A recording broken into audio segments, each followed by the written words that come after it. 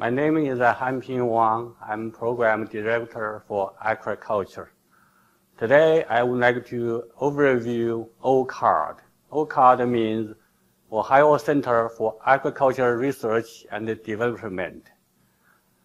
The mission of OCARD is to create knowledge and technology to improve Ohio and the U.S. aquaculture.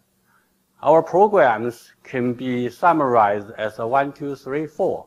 One means one integrated program, which is aquaculture research and development integration program.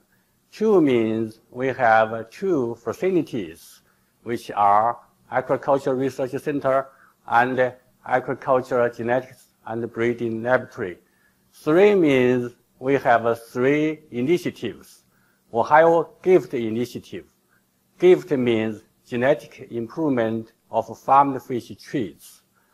Soy Aqua Research Initiative and Aquaculture Bootcamp Initiative, so-called ABC Initiative. Four means we have four major achievements.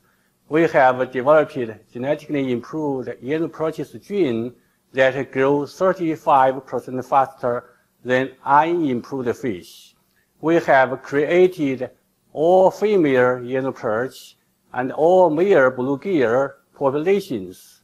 Both smaller sex populations grow 35 to 50% faster than their mixed sex populations.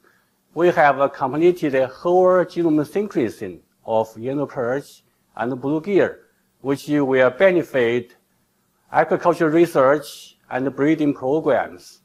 We have published two books and around 100 papers that will benefit agriculture industry and scientific uh, communities. For those achievements, we want to thank USDA, Nicaragua, Ohio Sea Grant, and the U.S. Soybean Board for their support. For more information, you can contact me or visit our website.